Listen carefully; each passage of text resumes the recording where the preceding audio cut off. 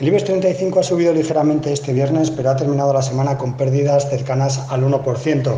Una semana que ha estado marcada por esas actas de la Fed que han anticipado que el Banco Central de Estados Unidos se plantea comenzar a retirar sus estímulos monetarios antes de final de año. No obstante, los inversores miran ahora al simposio económico de Jackson Hole, que se celebrará la próxima semana, para saber si Jerome Powell da pistas adicionales sobre el inicio de ese famoso tapering.